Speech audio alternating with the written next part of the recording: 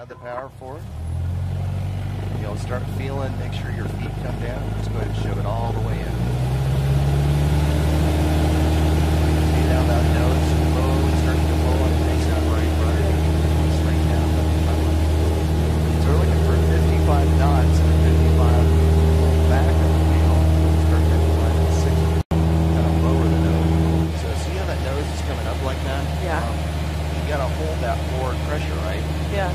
Well, there's this gizmo right down here called the trim wheel. Now go ahead and hold the control wheel, hold it the same altitude, but start to trim this thing. Pull it a little sharper than normal, but you get the point. 30 degree banks about that. And Jefferson County Traffic System 522 Sierra's final runway closer. Okay, so everything's good. We've got everything here. The flaps are good. Follow me through on this. So we're coming down. We have good airspeed, 70s. Now we go to idle.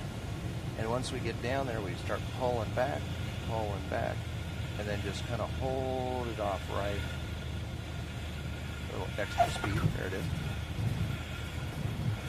Turn. We just make the turn off the uh, runway.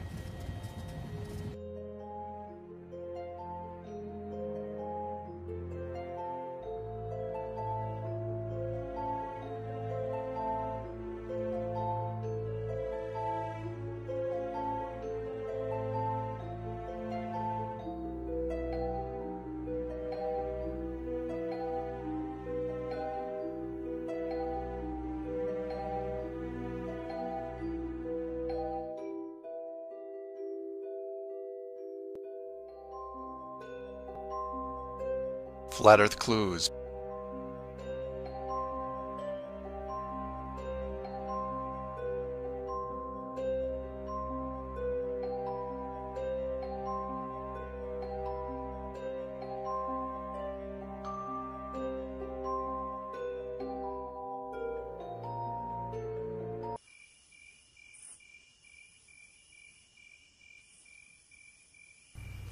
As you can see, by properly using the coordinates on the military grid, the rendezvous point has been located efficiently, clearly, and precisely.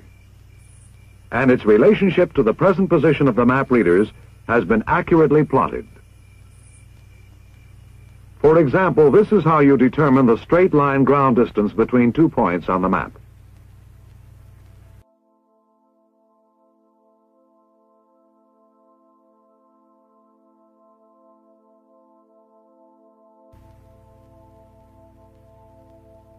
Lay a straight-edged piece of paper on the map so that its edge touches both points. Make a tick mark on the edge of the paper at each point.